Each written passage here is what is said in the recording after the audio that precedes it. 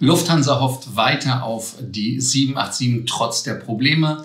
Die Chinesen, die im Inlandsverkehr ja, wie soll man sagen, Vorreiter waren in der Corona-Krise, gezeigt haben, dass man trotzdem viel fliegen kann, haben jetzt aber eine Art Sinkflug durch den Corona-Lockdown. Und wir haben eine Finnair Plus Punkte-Promotion.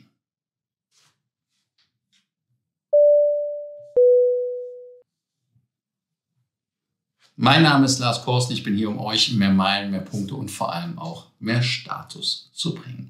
In der heutigen Folge, wie immer, natürlich denkt daran, den Kanal zu abonnieren, die Glocke anzumachen, zu kommentieren und ein Like dazulassen. Aufgrund der regen Nachfrage nach Stammtischen haben wir spontan wieder Stammtische einberufen. Und zwar in Berlin am 19.05. diesen Jahres natürlich. Das ist diesen Donnerstag im Grand Hyatt, also dort in der Vox Bar. In München haben wir auch einen, da gab es eine Frage. Und zwar am 21.05. im Augustinerkeller ab 18 Uhr. Und Frankfurter Flughafen am 22.05. auch natürlich Sonntag ab 18 Uhr wie immer gepflegt, gesittet im Hyatt Place. Denkt dran, dass ihr entweder euch über Facebook anmeldet oder aber uns eine Nachricht schickt, also mir in dem Fall über WhatsApp damit ich Bescheid weiß. Einfach nur, damit wir einen groben Überblick haben, wie viele Leute wir sind. Ich freue mich, euch persönlich mal kennenzulernen. Die Luftfahrt in Saudi-Arabien ist ja mit Saudi Airlines ähm, ja sehr überschaubar, hätte ich fast gesagt. Aber man hat dort natürlich, ja, man hat dort äh, gewisse Spezialitäten auf den Flügen, trocken und so weiter. Und wenn man jetzt das Ganze sich anschaut, hat man natürlich in Saudi-Arabien dasselbe Problem wie in Nachbarstaaten. Ja, ganz genau. Die UAE haben ja Emirates gegründet und dann Emirates, äh, schon Etihad in Abu Dhabi gegründet. Warum? Ganz einfach, weil man natürlich weiß, dass die Ölreserven endlich sind. Und ähm, man hat zwar 260 Milliarden Fass oder irgendwas über 40 Billionen Liter Rohöl im Boden stecken. In UAE sind es auch, glaube ich, auch nochmal riesige Mengen, aber trotzdem, es reicht halt einfach nicht. Die Saudis haben die zweitgrößten bestätigten Erdölreserven der Welt und diese Ölreserven haben das Königreich so unendlich reich gemacht und gerade auch jetzt in der Krise sind sie natürlich Gewinner, weil sie einfach von den gestiegenen Rohölpreisen ja, partizipieren und da einfach nicht wissen, wohin mit der Knete, um es mal ganz locker zu sagen. Und ähm, ja, man ist von dem Öl abhängig. Also das heißt, man hatte natürlich, als die Rohölpreise so niedrig waren, riesen Stress. Aber jetzt, wo die Preise hoch sind, UAE, glaube ich, waren 78 Euro, damit man, ähm, oder 78 Dollar, 78 Dollar äh, pro Barrel, um nachhaltig zu sein. Und als sie bei 50 waren, hatte man halt echten Stress in UAE. Und genauso ist das natürlich in Saudi-Arabien. Ich weiß nicht mehr genau, wie viel in Saudi-Arabien äh, die Nachhaltigkeit ist. Das heißt also, welchen Rohölpreis man braucht, um die Ausgaben, die man hat, ähm, zu bezahlen. Naja, auf jeden Fall, das Öl- und das Gasgeschäft ist ein Riesenthema, aber Mohammed bin Salman al-Saud, also MBS in der Abkürzung, hat natürlich auch eine Vision. Wir haben Vision 2020, gab 2025, 2030. Und äh, Saudi hat eine ja, Vision. Die, die, nennen das dann immer Vision 2030. Also nicht zu verwechseln mit dem, was der Herr Schröder, glaube ich, gesagt hat. Äh, wer Visionen hat, muss zum Arzt. Und da ist es halt wirklich das Ziel, den Anteil auf 10% zu bringen, indem halt andere Branchen noch mehr rausgebildet werden, um damit Gewinne zu machen. Und die Luftfahrtindustrie ist in der, Region, in der Region ein wichtiger Pfeiler. Und die Vision geht um Tourismus. Man merkt das ja auch, wie viele Hotels entwickelt werden. Man hat ja auch fast neue Städte, die man entwickelt, um da dann äh, Besucher anzulocken. Auf jeden Fall ist auch ein Riesengeschäft für die Saudis, die Pilger, die nach Saudi-Arabien können. Das heißt also, man möchte, dass die ganzen, die dann auf dem Hajj, so heißt das im ähm, Arabischen sind, 100 Millionen Reisende jährlich ins Land kommen lassen. Das ist mehr als in Mexiko oder in Indonesien leben. Und ähm, des Weiteren, es gibt diese, man nennt das Pristine, also unberührte Strände.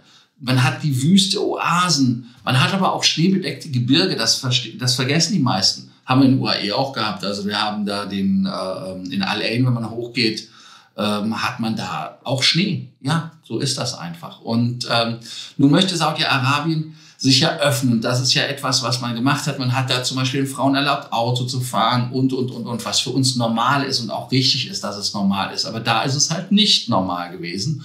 Und da ist jetzt halt sehr, sehr viel was passiert. Man hat halt mit privaten Investoren in Hotels, in Resorts, ähm, hat die Visumvorschriften vereinfacht, hat ein Straßennetz, was hochentwickelt ist, man hat ein Schienennetz, was man auch machen möchte und erweitert. Und dann möchte natürlich auch jemand eine führende Luftfahrtindustrie in der Region aufbauen. Mohammed F. Al-Kuharzi, das ist der Strategiechef der Luftfahrtbehörde der General Authority of Civil Aviation, der sagte das. Und ähm, man möchte halt 330 Millionen Fluggäste jährlich haben, dreimal so viel wie heute. Also da könnte man ausrechnen, was da passiert. Dann möchte man auch ein Frachtvolumen aufbauen, was 4,5 Millionen Tonnen sind. Das ist auch eine Vervierfachung. Man möchte 250 Ziele weltweit direkt verbinden, statt nur 99. Und deshalb braucht es eine neue National-Airline.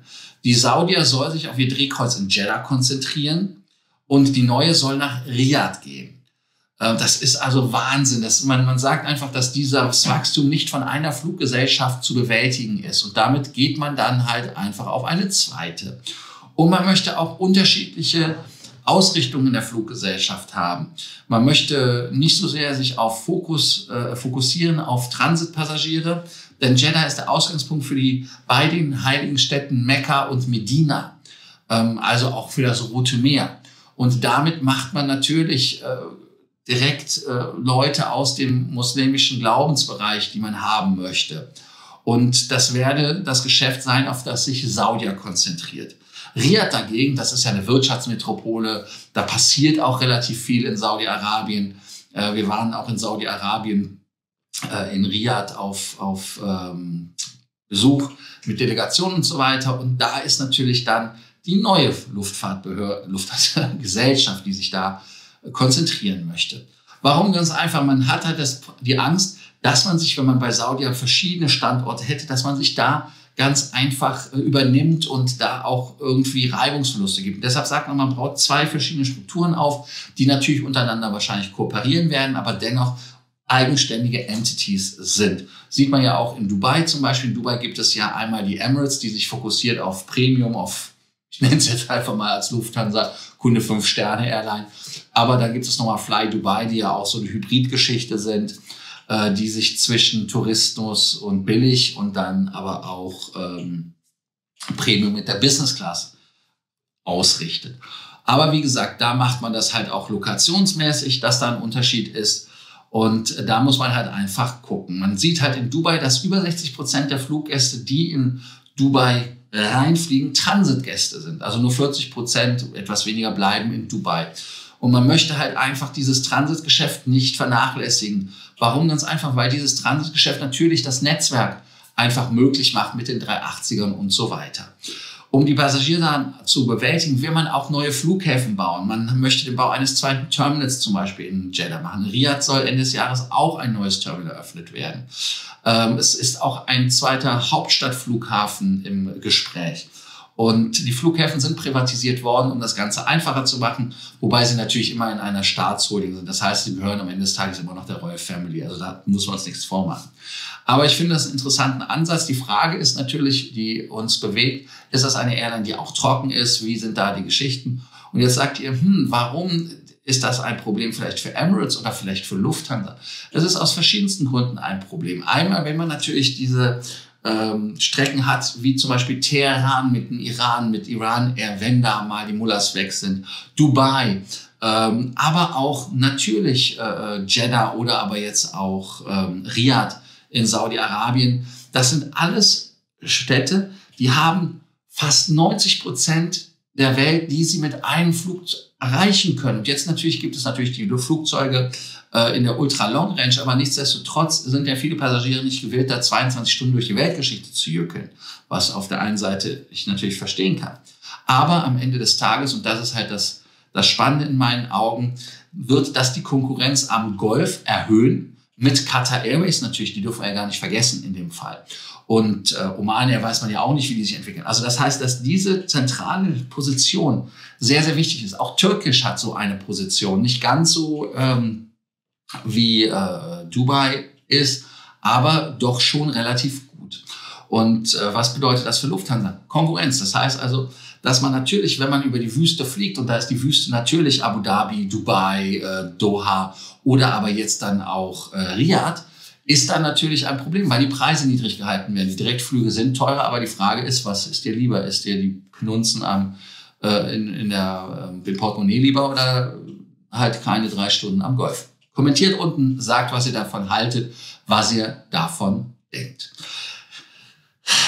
Corona, es bleibt euch äh, nicht äh, irgendwie erspart. Heute müssen wir das Thema nochmal reden.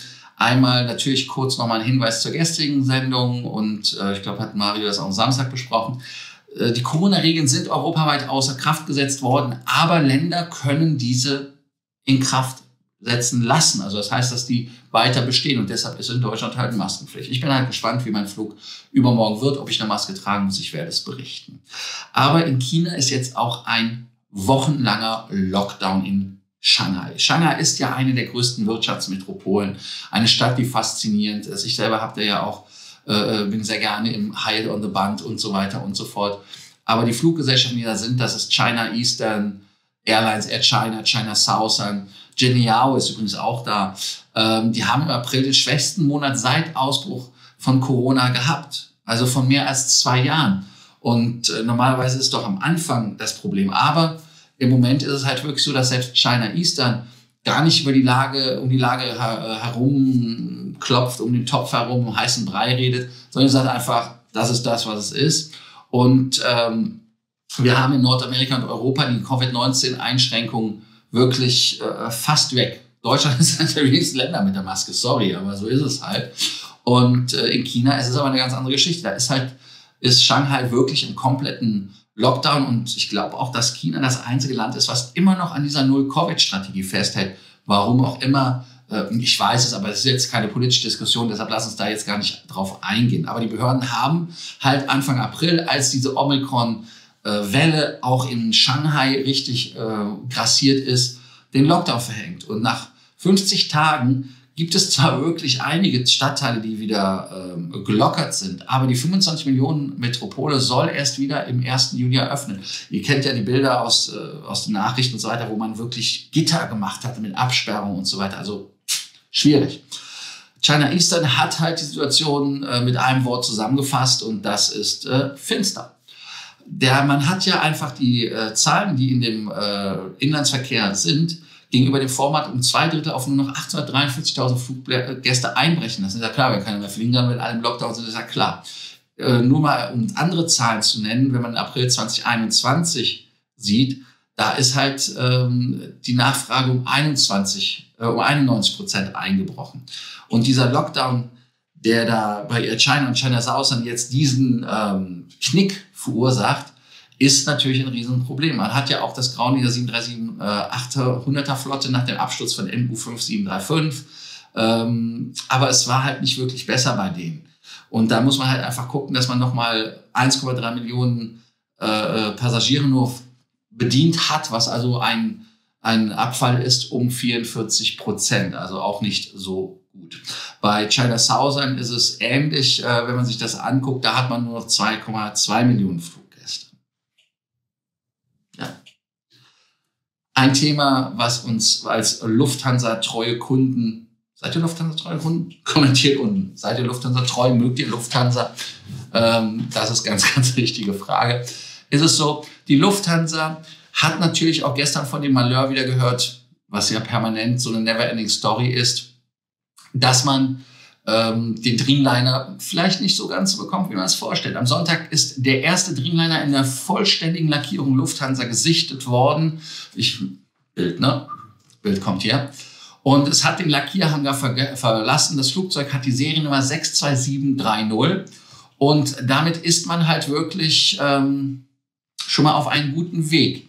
Das Flugzeug hatte schon mal das sein Prozedere schon mal gemacht, aber da hatte man eine Vistara, äh, eine Library. Aber die indische Fluggesellschaft wollte halt die 787-9er nicht. Und äh, dann hat die Lufthansa, und das ist auch wieder eine Replik an die eine Antwort, Vistara ist Codeshare-Partner, aber kein Starlines-Partner oder sonst was. Also deshalb zur Zusammenarbeit mit Indien. Ne? Und da hat man halt gesagt, die nehmen wir. Wann das Flugzeug mit der Kennung D, Delta Alpha, Bravo, Papa Alpha zur Lufthansa kommt, ist wirklich immer noch nicht äh, in trockenen Tüchern. Man wollte es letztes Jahr haben, aber ist nicht passiert. Und ähm, ihr habt ja alle gehört, gestern habe ich ja wieder darüber erzählt, dass der Dreamliner nochmal ein Problem hat. Und zwar ganz einfach, Warum? Weil man Produktionsprobleme hatte, weil irgendwie eine Dokumentation fehlte und, und, und, und, und. Ich möchte zu dem Drama jetzt eigentlich ehrlicherweise nichts mehr sagen. Ich hoffe darauf, dass das Flugzeug kommt. Einer hatte ja kommentiert und deshalb solltet ihr auch kommentieren, dass man nochmal viel Spaß mit dem Flugzeug haben wird. Geht ja um, das, um die Teile, CFK-Teile von Mitsubishi Heavy Industries aus Japan, die da Verunreinigung haben und damit Probleme machen. Aber kleiner Hinweis, auch die 787 hat Lackprobleme. Also ist nur ne, nicht nur eine 350er Sache. Kommentiert unten. Freue mich auf eure Kommentare, ob ihr euch auf die 787 freut. Also insofern bin ich mal gespannt. Die Flugzeuge im Gegensatz zu China werden in Europa wieder besser ausgelastet, hat die Eurocontrol gesagt. man sagt einfach, dass man die Covid-Phase überwunden hat. Ganz einfach warum? Weil die Fluggesellschaften in Europa die Flotten wieder auslasten. Es gibt eine Stichprobe und da hat man einfach geguckt, dass gerade diese Billigflieger ähm, und ein Segment noch hinterherhinken. Äh, Entschuldigung, die Billigflieger mögen das, aber ein anderer Sektor hinkt, ein anderes Segment hinkt noch hinterher. So ist es richtig.